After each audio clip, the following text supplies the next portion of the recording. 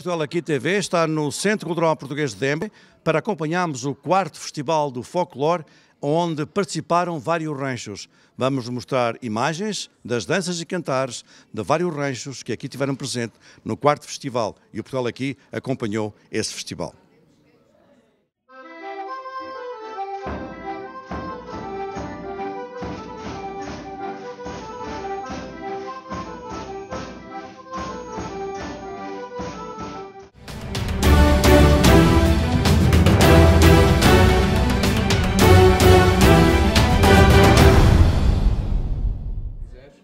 As primeiras imagens no Portugal aqui vão para o rancho do Imaculado Coração de Maria em Denver, que ao longo dos anos vem cimentando a alegria de dançar o folclore e hoje mostraram o porquê dessa alegria.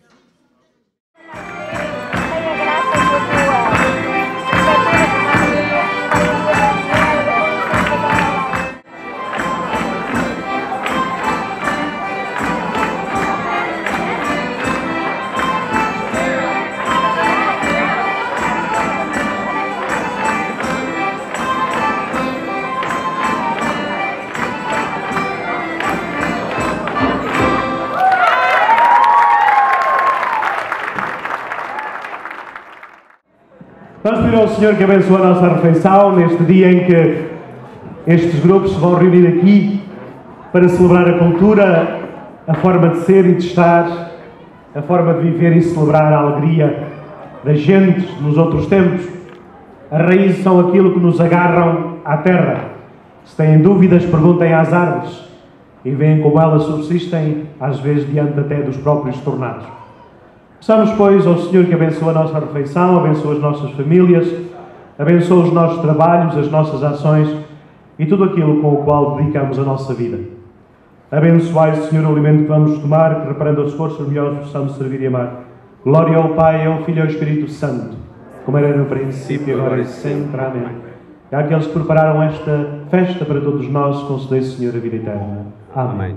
Em nome do Pai, do Filho e do Espírito Santo. Amém. Para todos vós, uma boa festa. Obrigado.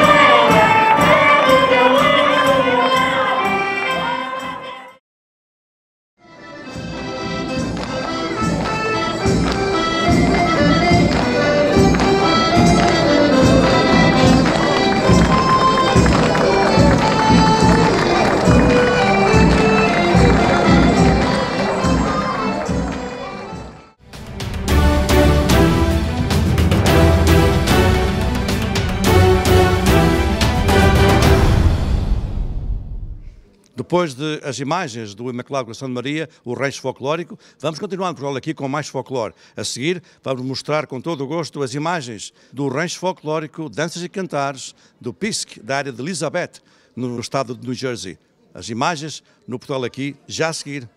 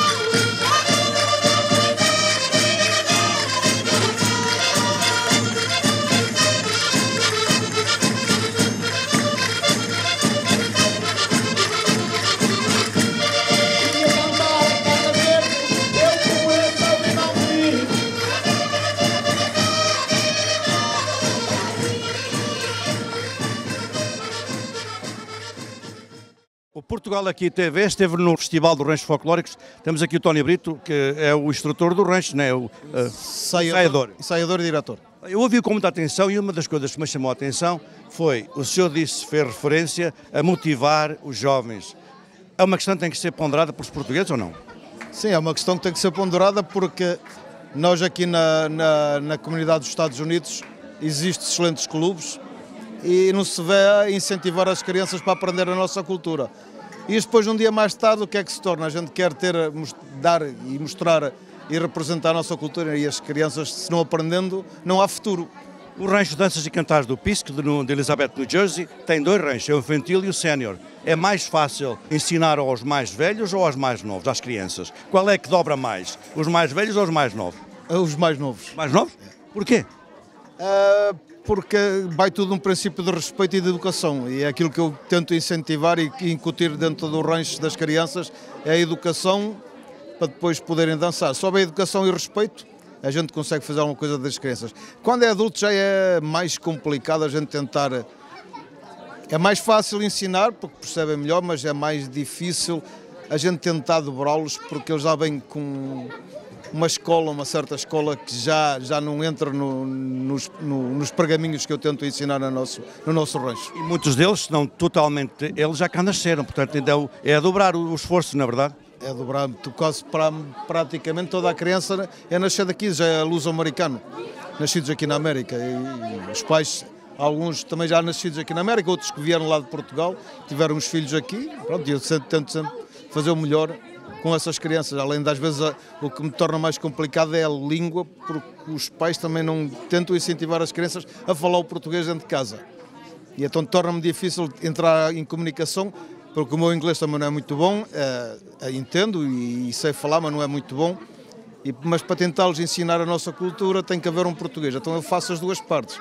Faço a parte de ensinar a cultura e de tentar também ajudar aqueles aprendam um bocadinho da nossa língua portuguesa no, no rancho. Nos últimos anos, pouco ou ninguém vem de Portugal para aqui, os portugueses são quase uma minoria todos os anos. Como é que se põe daqui por, daqui por algumas décadas, daqui por, estou a falar num, num universo, num horizonte de 10, 20 anos, qual é o futuro do folclore, realisticamente falando? Não posso. Da minha parte, posso dizer que o. Está complicado?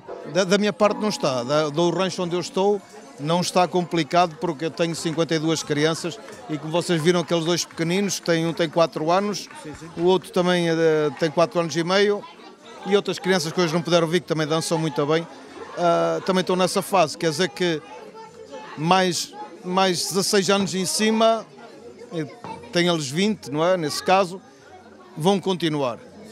O problema é se a gente não incentiva outras crianças que estão, que estão a nascer, eh, que o futuro, futuro de, de outros casais, principalmente os do, do, pessoal que eu tenho rancho adulto, que alguns vão se casar, vamos ver como é que as crianças, se eles vão incentivar os, os futuros filhos deles a aprender a nossa cultura.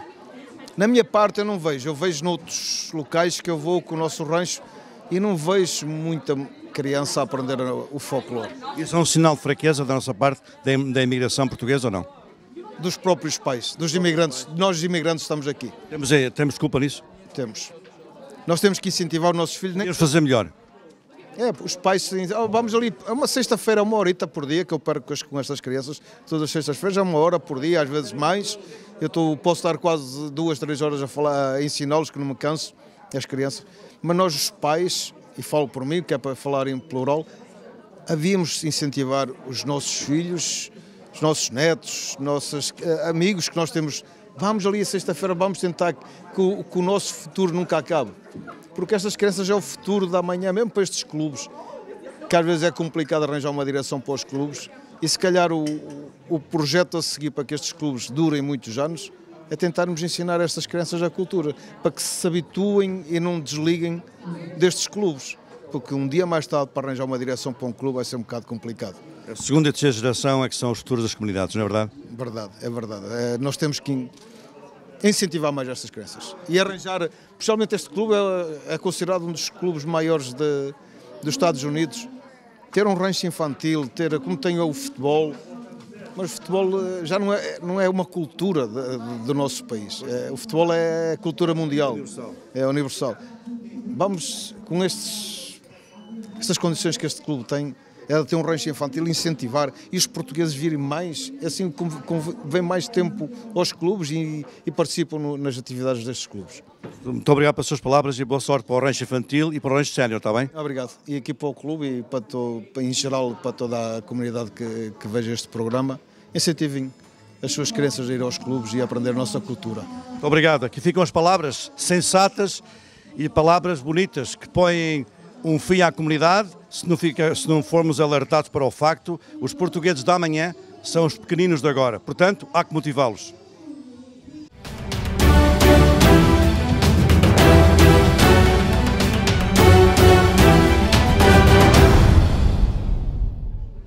Acabamos de ver o rancho folclórico Danças e Cantares do Clube de Pisque, na área de New Jersey, em Elizabeth, com o rancho Senior e também os mais pequeninos.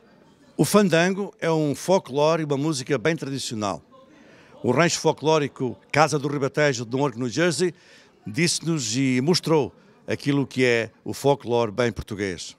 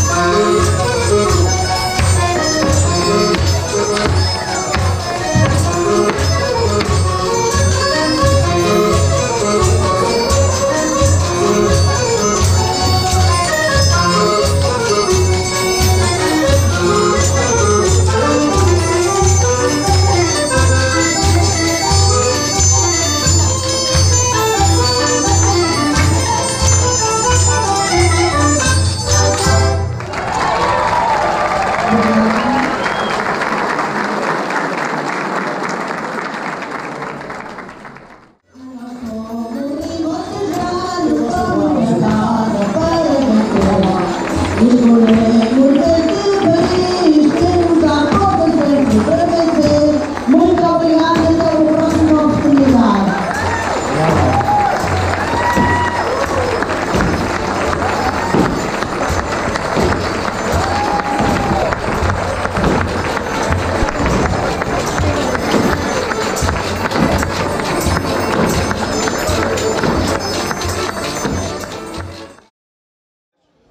Folclore da, da Casa do Ribatejo de Newark, Newark New Jersey, um, fez um excelente trabalho aqui. E eu, por acaso, nunca tinha presenciado este rancho. O folclore, no seu todo, é muito diversificado, não é verdade?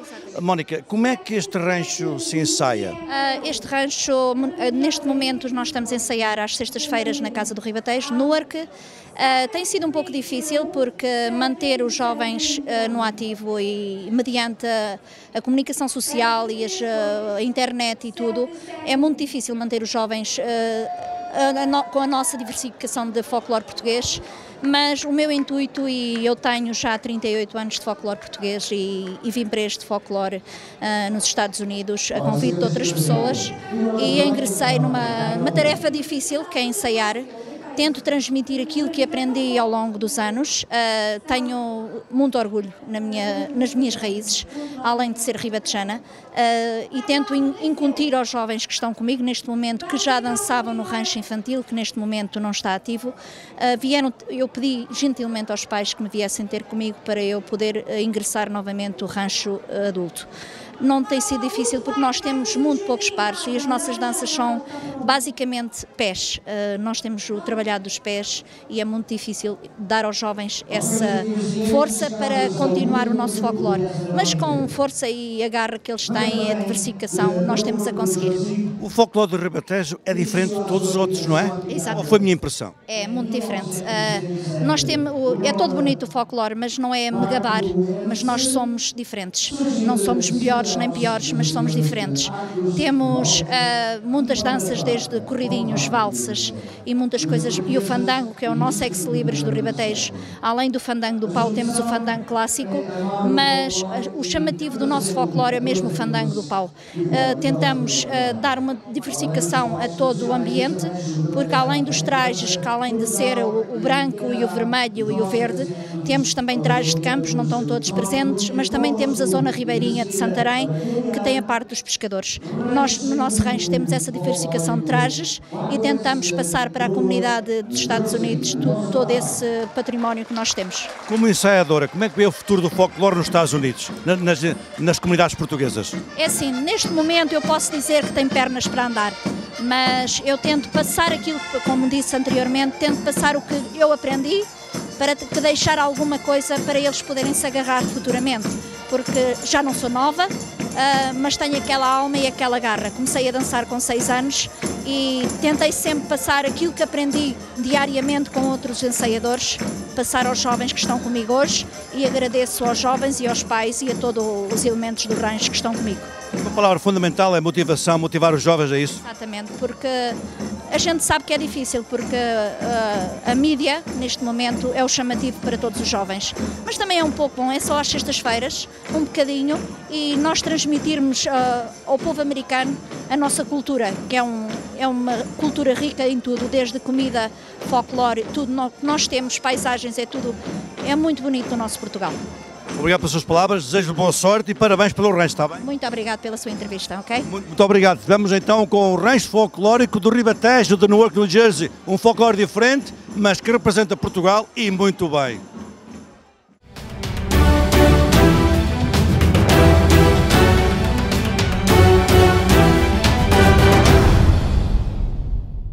Por último, temos todo o gosto em mostrar imagens do folclore do rancho barcoense, um rancho minhoto que mostrou o porquê da região do Minho ser forte no que concerne ao folclore.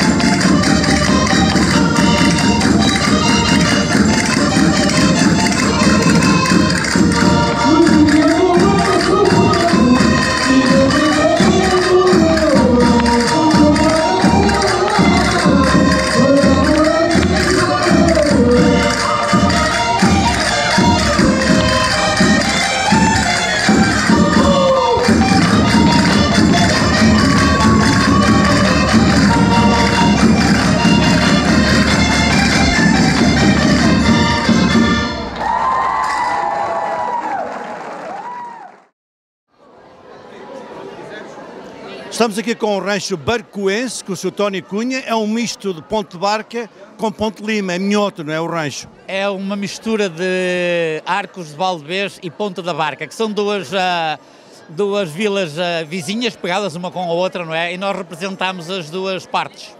Com esta competitividade toda cá no Work, há tanto rancho no Work e, e, e Elizabeth, uh, qual é o segredo de manter a chama viva do folclore naquela área tão portuguesa, entre aspas?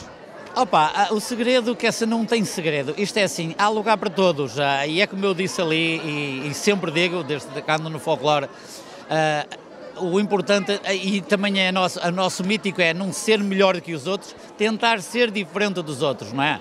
Isso é o segredo, a alma do negócio nos costuma dizer. Uh, fazermos o nosso trabalho, darmos-nos bem com toda a gente. Nós temos um convívio com todos os ranchos magnífico é, e tentar ser diferentes em alguma coisa dos outros, não é? Todos têm respeito uns pelos outros, é no work derivado a haver muitos, mas há sempre um respeito mútuo entre todos os ranchos. Sim, temos, temos nós, nós diretores, ensaiadores, as principais. Às vezes isso é como em tudo, onde há muita gente junta, sempre há uma coisinha entre um e dos outros, mas isso é uma coisa muito mínima que nem se nota.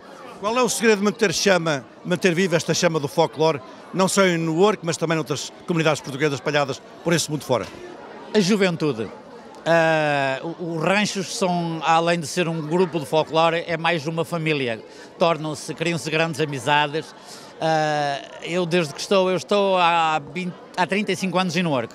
Eu estou no folclore há 28 e já vi nascer, hoje tenho 28 anos, vi-os nascer e hoje dançam folclore. Esse é o segredo, é, começa com os pais, depois vão os filhos, depois vão os netos e, e sucessivamente e é o que torna o folclore mais agradável. E hoje toda a juventude, por exemplo, toda a juventude toca concertina que é uma coisa impressionante. Como é que se aprende a tocar concertina num jovem como tem o vosso rancho, que nem sequer fala português, como o senhor disse? Olha, o pai é de Melgaço, que fica lá bem no coração do Alto Minho. Uh, a mãe é uma senhora da África. Uh, o miúdo aprendeu, ele não fala português, mas toca qualquer instrumento, desde concertina, acordeão, piano, toca tudo ele é, que se diz, isso, isso nasce com esse dom e ele nasceu com o dom de tocar um instrumento de música. A concertina não é tão fácil porque não é uma, não é uma, não tem uma escala de música, não é, uma concertina não se aprende música, não está escrita no papel, como os outros instrumentos, não é? Mas é mais música de ouvido, mas aprende-se, aprende-se e olha, está, está à vista. Está à vista, é verdade, parabéns por isso. Em relação também ao folclore português, o que é que o senhor acha daqui por 10, 20, 30 anos, no, no horizonte uh, daqui a duas, três décadas, como é que estamos com o folclore português? Nos Estados Unidos, nas comunidades? Eu acho que estamos bem. Acho que estamos bem porque nós vemos todos os ranchos, têm, vemos um rancho de Elizabeth que tem uma imensa juventude e mesmo os ranchos aqui em Nova York, em Massachusetts, em todo lugar, vemos os ranchos com muita juventude. Enquanto isso perdurar, não acaba. Muito obrigado pelas suas palavras, boa sorte por esse mundo fora. Ok, muito obrigado. Obrigado a vocês também. Obrigado nós. Então, olha, estivemos com ranchos, vários ranchos aqui. O rancho barcoense não só canta, como toca e dançam muito bem. Portugal aqui esteve aqui, nós estamos e mostramos assim. O Rancho Imaculado Coração de Maria em Dembre tem uma presente dinâmica. Fernanda, Fernanda Bico, diga-se. Fernanda, onde é que vais arranjar essa energia toda? Como eu gosto do folclore, eu adoro o folclore, eu acho que é uma tradição muito linda e que temos que seguir as nossas tradições.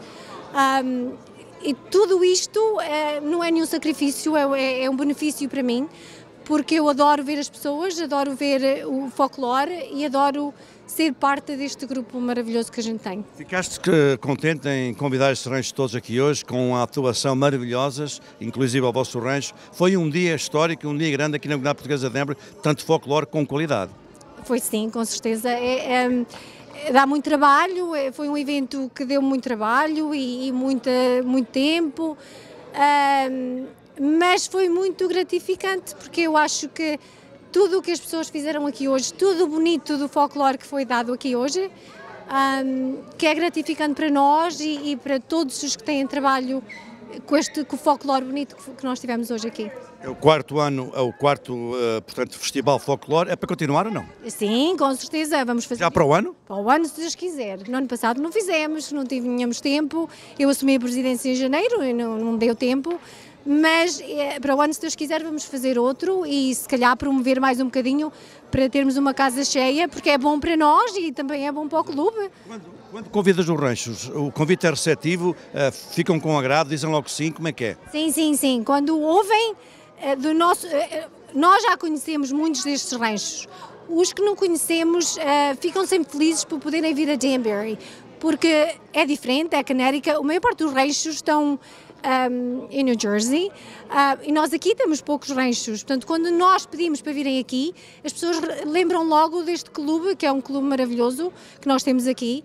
E dizem logo sim, porque gostam, gostam de mostrar o folclore deles e para eles é diferente, também é gratificante porque eles gostam. O rancho folclórico Banco com Santa Maria uh, está bom e recomenda-se ou não? Claro que sim, nós estamos, estamos à procura, quanto mais pessoas melhor, é um bom exercício, como eu disse, uh, o folclore é muito bom, um, é umas tradições muito bonitas. Nós temos muitas danças da Beira Alta. Uh, para mim é, é, bom porque eu sou da Beira Alta, mas dançamos, temos muitas outras danças uh, de outros lados de Portugal, de outras áreas de Portugal, e, e nós estamos com 12 grupos, um, temos tocadores, muitos cantores, e pouco a pouco temos mais pessoas para ajudar e para fazerem parte do nosso grupo.